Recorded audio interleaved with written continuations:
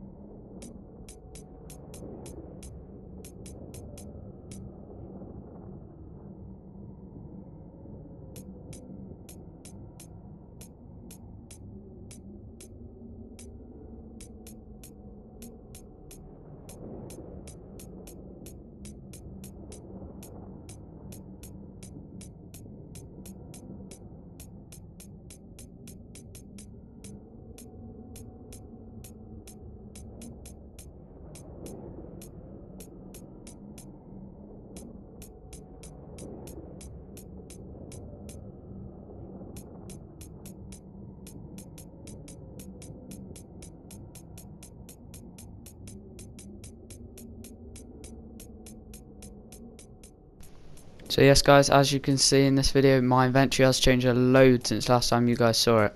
So yeah, if you guys want to trade for anything you have seen in this video, including my Sunbeam and Bright Core, be sure to DM me on Discord, in the Discord which will be linked in the description. It's my new Discord server. We're going to do daily giveaways in there now.